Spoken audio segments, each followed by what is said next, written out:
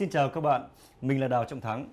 Mình đã từng học tập tại Cộng hòa Liên bang Đức từ 2003 đến 2005 thì mình về nước. Một năm sau đó thì mình bắt đầu khởi nghiệp. À mà thôi câu chuyện đấy thì chúng ta dành đến cuối chương trình.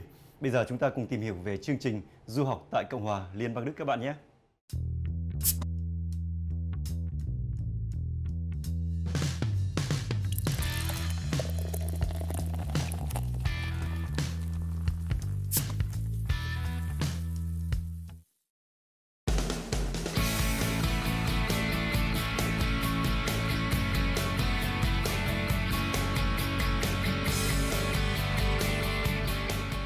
Hơn 380 trường đại học đạt tại 175 thành phố, trong đó có nhiều trường đại học nằm trong top 100 trường đại học tốt nhất thế giới. Các ngành học thế mạnh của Đức là kỹ thuật, công nghệ thông tin. Ngoài việc nổi tiếng về chất lượng giảng dạy và cơ sở vật chất hiện đại, chính phủ Đức cũng rất chú tâm đầu tư cho mạng giáo dục bậc cao. Em Germany has a lot of things to offer. I think first and most important is the quality of education and research in Germany. Uh, and what is very important for Germany is the combination of theory and praxis. But also, if it comes to research, there's a close cooperation and the students are benefiting from that. Germany is a very international country, so students are studying in a very international environment. And last but not least, of course, um, there are no tuition fees in Germany, so it is affordable to get a high quality education in Germany without tuition fees. hệ thống giáo dục đại học của Đức thì phần tự chủ hay là nói cách khác là người sinh viên phải tự giác rất là nhiều. Có một bài giảng chỗ nào khác hay hơn tốt hơn cho mình hay là mình học ở trong thư viện sẽ tốt hơn thì mình có thể làm đó. Không có ai theo dõi mình cả không có ai bắt mình phải điểm danh hàng ngày ở lớp cả. Nhưng mà tới khi kiểm tra thì người ta sẽ kiểm tra rất là kỹ. Và một trong những đặc điểm của hệ thống giáo dục đại học của Đức là đầu vào tương đối là dễ nhưng đầu ra các trường siết rất là kỹ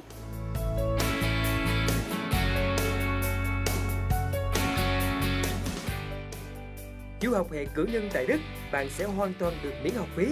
Điều này được áp dụng với mọi sinh viên đến từ tất cả các quốc gia trên thế giới. Ngoài ra, nếu bạn hoàn tất bậc học cử nhân tại Đức, bạn vẫn có khả năng được nhận vào học chương trình sau đại học miễn phí. We want to to uh, help the young generation of academics to really uh, develop their skills, develop their character, develop their personal profile, so that afterwards they can do something useful for themselves, of course, because you have to have you have to make money with what you have studied, but also for society as a whole.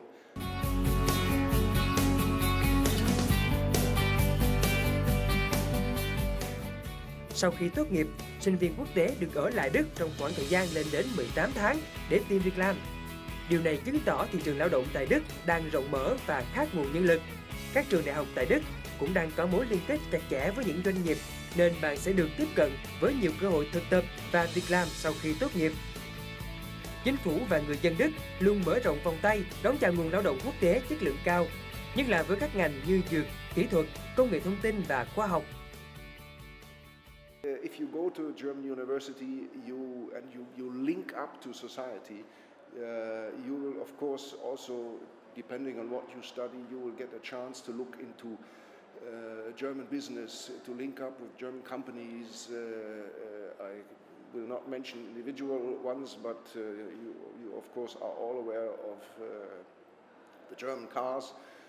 you are aware of some of the electrical and electronic devices, medicine, pharmacy, uh, chemic- chemical industry. So there's a wide range of industries uh, that you can come to know. Đức là một nước là sau chiến tranh thế thứ hai sắp xỉ gần gần giống với Việt Nam là bị tàn phá khá nhiều và trong một khoảng thời gian chưa đầy 50 năm là nước Đức đã xây dựng tái thiết mình lại và trở thành một cường quốc à, kinh tế và khoa học kỹ thuật trên thế giới cho nên tôi nghĩ rằng một sinh viên từ một nước Việt Nam có thể học tập ở Đức rất là nhiều. Đức có chính sách nhập cư tương đối là thoáng trên khắp thế giới, tức là Đức có quy định là nếu mà ai mà tốt nghiệp một trường học Đức là được phép ở lại Đức 18 tháng để mà tìm việc làm. Và sau khi tìm được công việc làm phù hợp thì có thể ở lại được 5 năm làm việc ở bên Đức. Và nếu mà và sau 8 năm thì sẽ có thể được phép định cư ở Đức và nhập tịch Đức và nếu mà cộng 5 năm ở lại làm việc Đức, cộng với là 3 năm học đại học, cộng với thêm với là một năm chuẩn bị, học dự bị học, vân vân, thì cái 8 năm đó mình đã vượt qua rồi. Trên về mặt lý thuyết, việc ở lại Đức sống và làm việc là tương đối đơn giản. Nhưng mà cái khó ở đây đó là những ngành nào Đức cần người ta? Tức là nếu mà ai học những ngành về công nghệ, những ngành về khoa học kỹ thuật, những ngành về y, những ngành về khoa học tự nhiên, thì những ngành đó là Đức rất là cần. Và những ngành đó là dễ dàng sẽ có thể trụ lại với Đức hơn nếu mà mình học giỏi.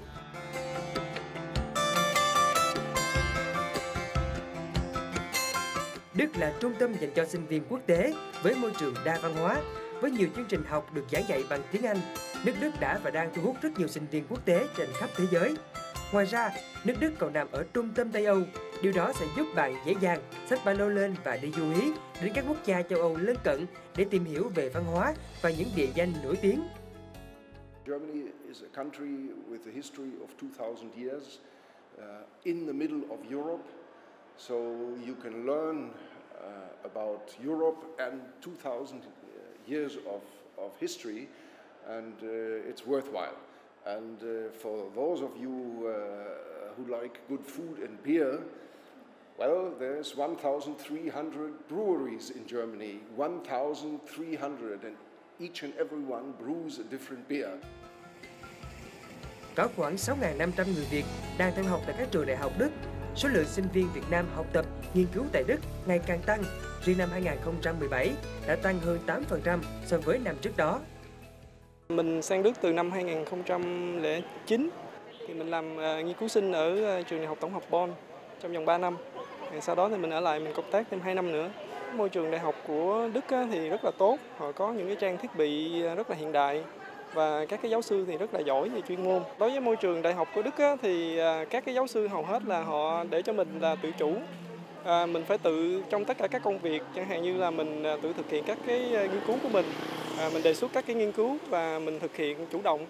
Khi mình gặp khó khăn thì mình mới liên hệ giáo sư để nhờ à, sự giúp đỡ. Còn tất cả mọi công việc còn còn lại là do à, người mình phải tự chủ động.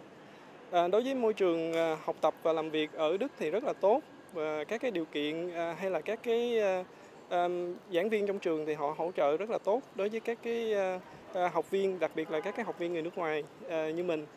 Về các cái cuộc sống thì lúc mà mới đầu thì nó cũng gặp khá là nhiều khó khăn, do là mình chưa có quen với điều kiện về thời tiết, khí hậu hay là văn hóa. Nhưng mà do mình nhận được học bổng của DAD thì mình có được cái khóa học tiếng Đức ở đây và được trang bị trước những cái kiến thức cũng như là những cái kỹ năng để mà mình có thể thích ứng được cho nên à, cái thời gian đầu à, sau một thời gian ngắn bỡ ngỡ thì mình cũng hòa nhập và thích nghi khá là tốt với cái à, cái môi trường và cuộc sống học tập và nghiên cứu bên bên đó các giáo sư có cái kinh nghiệm cũng như là cái chuyên môn rất tốt và có thể giúp đỡ giảng dạy cho học sinh cũng như là sinh viên. À, ngoài ra thì ừ, ờ, cái về trang thiết bị của các trường đại học ở bên Đức khá là, rất là tốt. Cuộc sống của sinh viên ờ, tại ờ, nước Đức thì cũng rất là thoải mái. À, các bạn ở đây ờ, vừa học tập và vừa có thể có các cơ hội làm thêm, cũng như là có thể vừa trau dồi thêm cái kiến thức của mình. Ngoài ra thì nước Đức cũng là một cái trung tâm chúng ta có thể đi du lịch sang các nước khác ở trong châu Âu.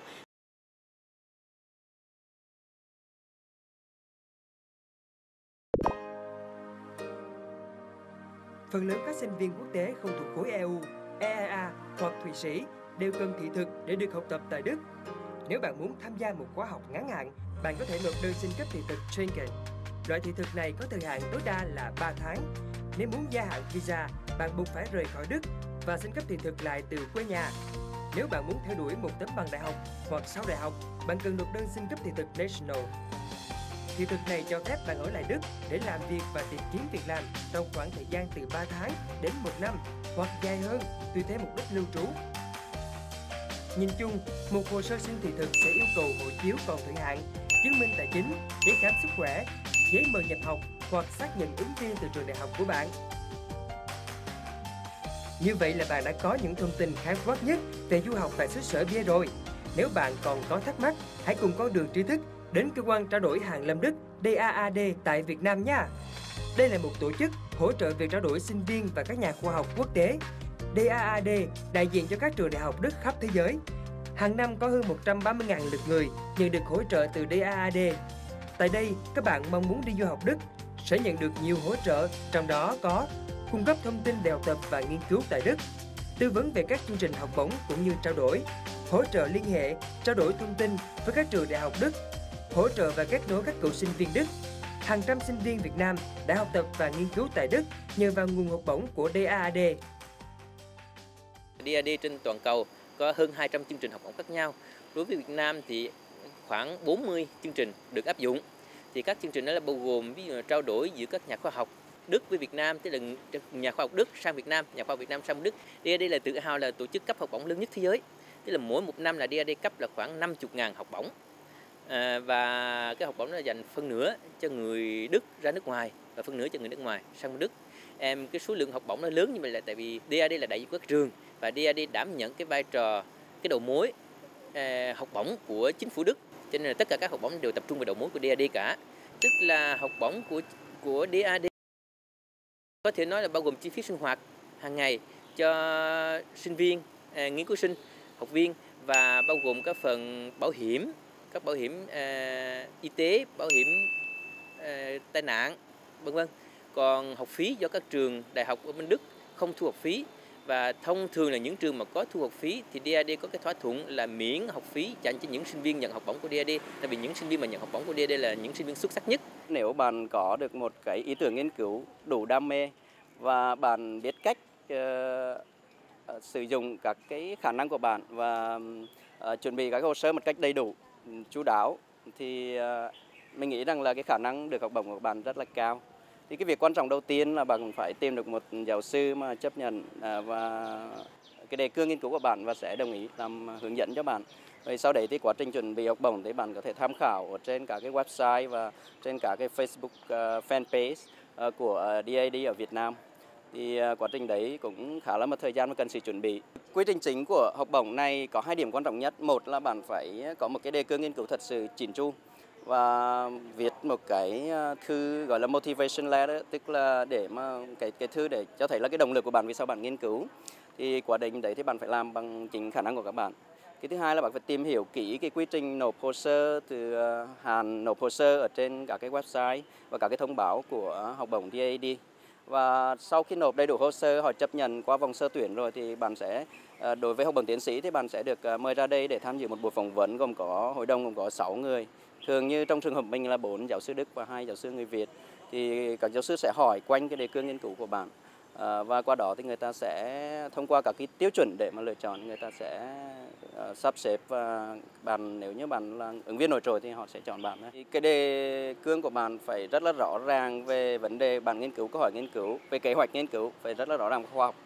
À, quá trình viết những cái bài luận các thứ thì không cần phải quá dài nhưng mà phải đi đúng trọng tâm.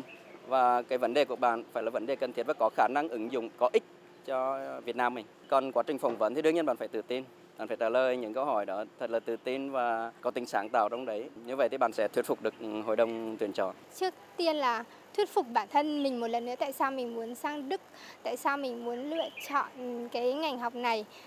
Phần tiếp theo mới là đến lựa ừ, thuyết phục trường và thuyết phục ờ, uh, DAD tại sao nên À, cấp học bổng này cho mình. Ngoài ra một ờ, lời khuyên nữa dành cho các bạn muốn ờ, xin học bổng là các bạn thực sự nên ờ, tìm hiểu trước và dành một khoảng thời gian ít nhất là một năm để chuẩn bị học bổng, để chuẩn bị hồ sơ học bổng. Bạn có thể tìm thấy tất cả các thông tin liên quan đến du học Đức và học bổng trên website của DAD hiện trên màn hình nha. Vậy là bạn đã có khá đầy đủ thông tin rồi phải không nào? Trước khi lên đường đến xứ sở bia, hãy lắng nghe xem chúng mình sẽ cần chuẩn bị những gì nào. Of course, one hurdle is always the German language. You can study in English in Germany, but still you have to live in Germany. And what I always advise is that your life, uh, you should try to, to live in Germany, not only study in Germany. Maritime activities and clubs sport clubs, for example, then you might easily find friends. What is also um, a big difference is the way of studying.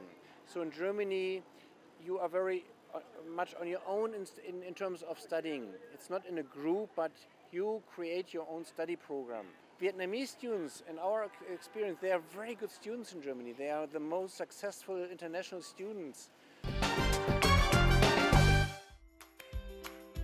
Giờ thì chúng mình đã trang bị đủ kiến thức để tự tin khám phá nước Đức rồi. Điểm đến đầu tiên là thành phố Frankfurt, một trong những thành phố có đông du học sinh Việt Nam. Nhân vật trải nghiệm lần này sẽ là ai? Các bạn cùng chờ xem nha! Xin chào tất cả các bạn, mình tên là Nguyễn Thu Hương. Hiện tại thì mình đang theo học ở một trường đại học công lập mang tên một vị danh hào nổi tiếng của nước Đức. Đấy chính là trường đại học Johann Wolfgang Goethe. Và nếu các bạn muốn tìm hiểu thêm về việc học tập cũng như là cuộc sống của mình bên này như thế nào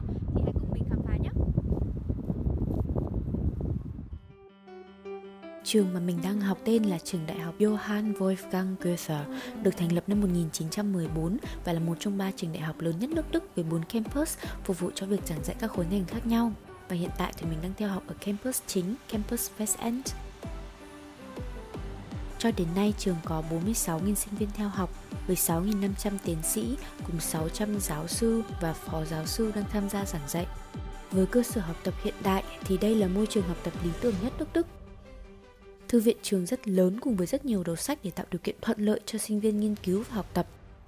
Ở uh, trường của mình thì luôn luôn có một phòng ban tên là MOPS, MOPS và phòng ban này thì luôn dành để giải đáp cho các sinh viên từng chuyên ngành cũng như là cung cấp thêm rất nhiều thông tin cho các sinh viên ví dụ như là về việc uh, thực tập này, về việc uh, kiếm việc làm này. Campus chính, nơi mình đang theo học có rất nhiều không gian ngoài trời cho các bạn sinh viên. Vì bây giờ đang là mùa hè, thời tiết cũng rất là thoáng và ấm Nên bọn mình thường dành thời gian ngồi ngoài trời học bài hoặc là ăn trưa hơn là ngồi trong phòng ăn. Thay vì những phòng học tiện nghi thì ngồi ngoài sân trường dưới những tàn lá cây cũng là những địa điểm rất ưa thích của mình mỗi khi tan lớp. Bên cạnh việc học ở trường thì tớ có một công việc nhỏ nhỏ đấy chính là bồi bàn của quán sushi và với công việc này thì tớ có thể được làm từ 2 đến 3 buổi một tuần tùy theo lịch làm của quán và cũng như là tùy theo lịch học của tớ ở trên trường chính bởi vì thế nên là tớ luôn luôn phải cân bằng thời gian của tớ làm sao để tớ có thể vừa học tốt và vừa làm tốt bây giờ tớ đang trên đường đi làm và các bạn đi theo tớ nhé có rất nhiều kiểu làm thêm mà các bạn có thể lựa chọn nhưng phổ biến nhất mà mình thấy trong giới sinh viên bọn mình là làm việc trong các nhà hàng, quán ăn. Vị trí làm việc có thể là bồi bàn, làm bếp hoặc là bartender. Đối với những bạn vừa sang Đức và tính Đức còn chưa tốt thì các bạn cũng không cần phải quá lo lắng là mình sẽ không tìm được việc làm mà các bạn có thể đăng ký vào làm bếp hoặc là làm bar ở các quán ăn, nhà hàng. Vì những vị trí ấy thì không đòi hỏi quá nhiều vào việc tiếp xúc với người Đức. Còn đối với những bạn tiếng Đức đã tốt, nhanh nhẹn và có khả năng giao tiếp Thì các bạn có thể tự tin ứng tuyển vào các vị trí như bồi bàn trong các quán ăn và nhà hàng. Bây giờ chúng ta cũng đi cùng đi chợ nhá. Ờ, Ở Đức thì có một cái rất là hay là để lấy cái chiếc xe để hàng ở đây thì mình sẽ không phải là miễn phí mà lấy được. Và mình sẽ phải mất một oi 50, một oi hoặc hai oi để nhét vào đây. Rồi thì bây giờ mình lấy ở Đức có rất nhiều kiểu siêu thị và thường các siêu thị đều rất đa dạng về các sản phẩm. Bên cạnh các mặt hàng của Đức thì các siêu thị Đức cũng bán những mặt hàng châu Á vì người Đức rất ưa chuộng đồ châu Á và đặc biệt là đồ Việt Nam. Thế nên không quá khó khăn để các bạn có thể tìm thấy gạo hoặc là mì Việt Nam ở các siêu thị Đức. Bên cạnh đó thì người Đức cũng rất ưa thích những loại rau củ cũng như loại hoa quả của vùng nhiệt đới. Thế nên các siêu thị và đặc biệt là vào mùa hè bán rất nhiều trái cây và rau củ nhiệt đới để chúng ta có thể lựa chọn.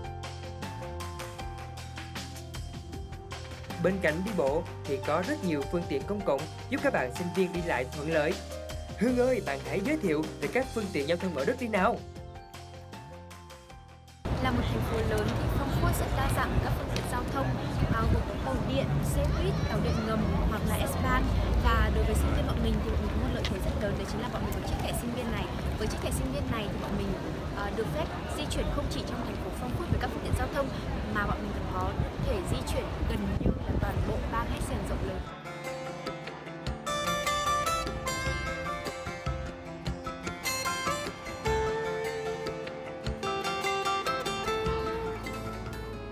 ở Đức mình lại có rất nhiều thú vui bên lề khác, như đọc sách này, hoặc là chỉ đơn giản là nằm nhà thư giãn với cái ánh nắng mặt trời siêu đẹp ở Đức ở châu Âu, phải nói là đẹp cả bốn mùa, và đặc biệt là Đức có bốn mùa rất rõ ràng và mỗi mùa thì lại có cái đẹp riêng vì giao thông ở Đức rất thuận tiện nên cũng tạo điều kiện thuận lợi cho mình được đi du lịch nhiều hơn và đặc biệt là hiện tại mình đang sống ở thành phố Frankfurt am Main, gần như là thành phố trung tâm của nước Đức.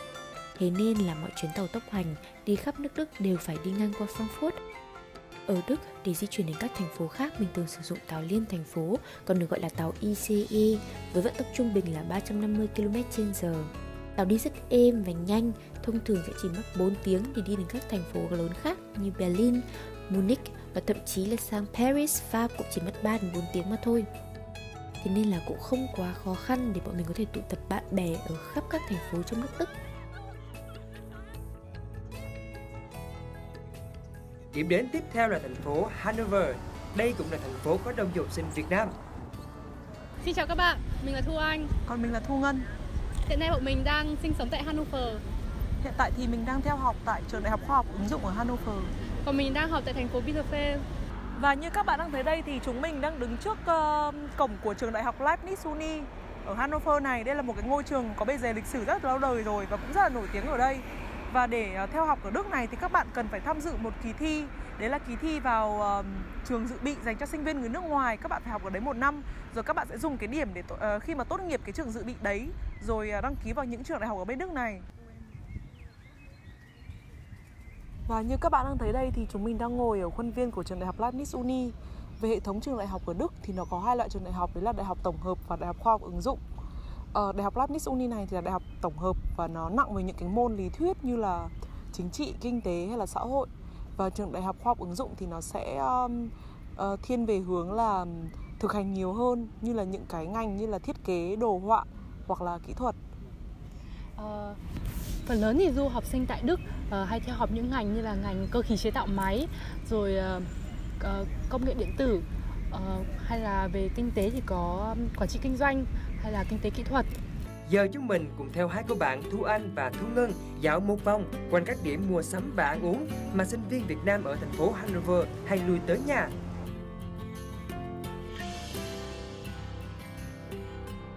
Như các bạn thấy đấy thì đấy là Mango và hiện tại thì chúng mình đang ở trên khu phố trung tâm chính lớn nhất ở Hanover với rất nhiều các cái cửa hàng mua sắm khác ở xung quanh đây. Trước mắt các bạn là Apple Store. Ở đây thì có rất nhiều người đến tham quan và xem các sản phẩm trưng bày của Apple. Và như các bạn đang thấy đây thì chúng mình đang đứng ở khu phố trung tâm mua sắm chính ở Hanover. Và vào một năm thì ở Đức có hai mùa sale chính là vào tháng 7 và vào tháng 12. Và khoảng thời gian này thì mọi người đổ ra ngoài đường rất là nhiều để sắm sửa quần áo cho mình. Ngoài ra thì có những cái mặt hàng, những cái sản phẩm của những cái nhãn hàng thời trang được biết đến như là Zara, H&M và Mango thì được các bạn trẻ du học sinh Việt Nam tại Đức rất là ưa chuộng.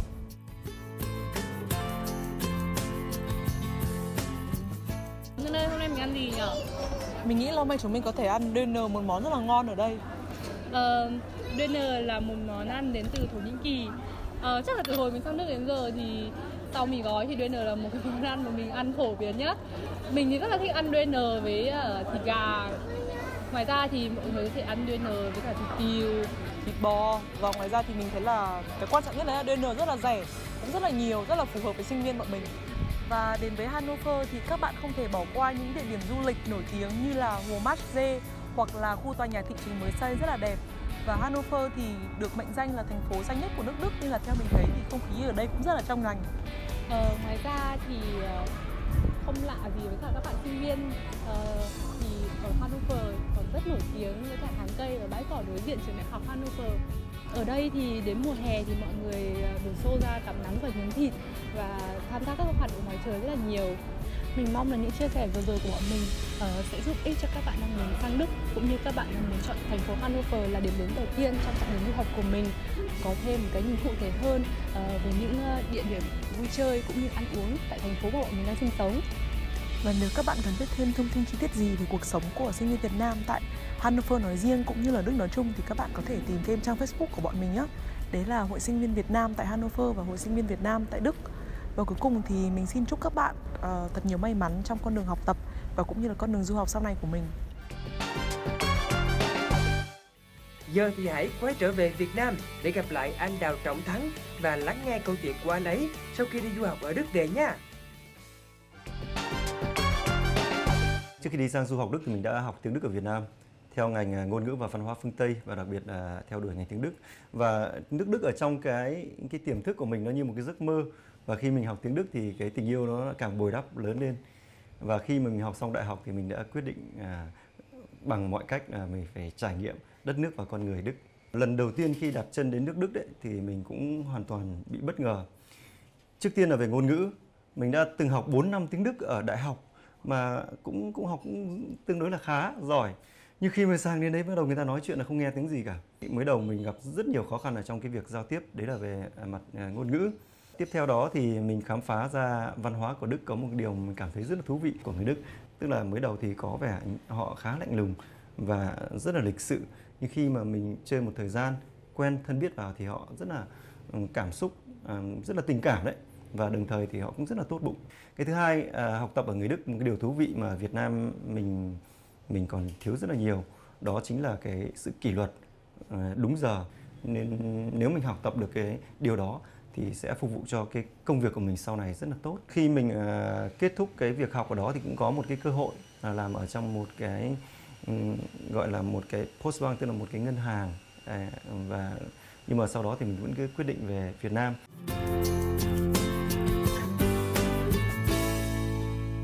khi mình sang châu Âu hoặc đi nước ngoài cái thời điểm đó mình luôn khát khao rằng các bạn trẻ Việt Nam sẽ có được những cái cơ hội trải nghiệm Ờ, cái nền văn hóa và cái nền giáo dục của các nước tiên tiến và cái điều đó nó thôi thúc mình khi quay trở lại Việt Nam lúc nào cũng nghĩ đến cái điều đó để làm sao nhiều các bạn Việt Nam hơn có được cái cơ hội đó mình thành lập ờ, công ty tư vấn uh, giáo dục à, uh, ASCI để hỗ trợ cho các bạn trong quá trình mà các bạn ấy muốn tìm những chương trình phù hợp ở nước ngoài. Việc đầu tiên trước khi chúng ta quyết định học tập hoặc đi du học nước ngoài thì chúng ta hãy xác định là ngành nghề nào mà mình sẽ theo đuổi. Chỉ có như thế thì chúng ta mới tìm được một cái ngành nghề phù hợp và tìm ra một cái trường phù hợp. Có rất nhiều bạn ừ, ngay cả đi du học nước ngoài về các bạn cũng không thực sự thành công bởi vì khi các bạn về, các bạn cũng không biết là các bạn đi học để làm gì nữa, hoặc là cái ngành nghề đó nó không phù hợp với bản thân các bạn ấy và các bạn đã lãng phí rất nhiều tiền bạc và thời gian.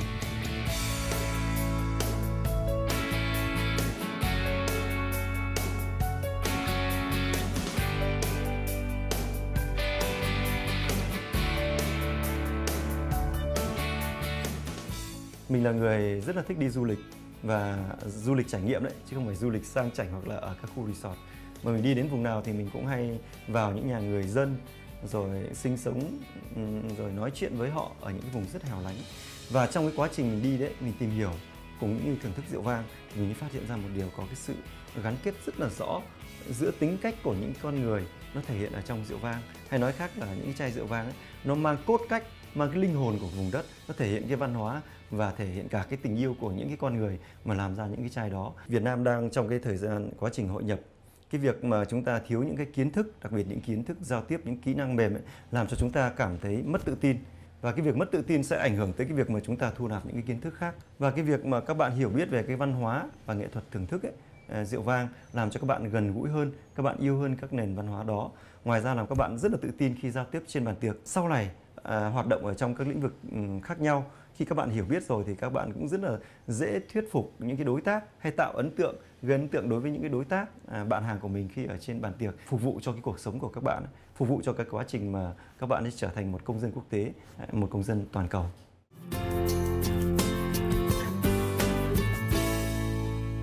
Mình có ba lời khuyên nhỏ dành cho các bạn đi du học nói chung và đi du học Đức nói riêng. Việc đầu tiên, trước khi đi du học, các bạn cần được hướng nghiệp để lựa chọn cho mình cái ngành nghề phù hợp trong tương lai để các bạn không phí tiền và phí thời gian. Việc thứ hai, hãy trang bị cho mình những cái kiến thức uh, mềm để phục vụ cho quá trình học tập cũng như cái quá trình mà các bạn uh, đi ra ngoài làm việc. Việc thứ ba, hãy tìm hiểu văn hóa um, thật kỹ của cái nước mà các bạn chuẩn bị đến để giúp cho quá trình hội nhập của các bạn nhanh hơn và sâu hơn. Chúc các bạn có những sự lựa chọn đúng đắn và chúc cho con đường du học của các bạn thành công.